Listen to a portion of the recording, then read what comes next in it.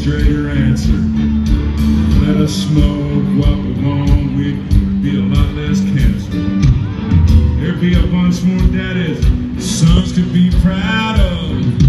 We'd have half the crime, we'd have twice the fun, a few more cows.